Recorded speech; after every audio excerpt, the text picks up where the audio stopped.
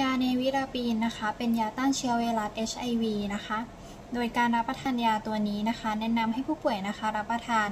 ยาครั้งละ 1 เม็ดวันละ 2 ครั้งนะคะ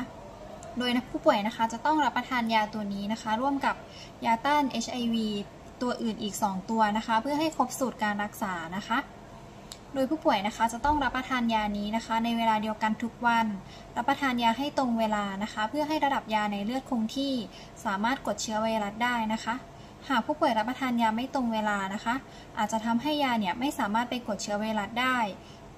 ทำให้มีการเกิดการดื้อยานะคะทำให้ต้องมีการเปลี่ยนสูตรการรักษา ส่งผลให้การรักษายากยิ่งขึ้นในอนาคตค่ะ ลข้างเคียงที่อาจจะพบได้ในช่วงแรกของการใช้ยานะคะ ผู้ป่วยอาจจะมีอาการขึ้นไส้อาเจียนปวดหัวนะคะ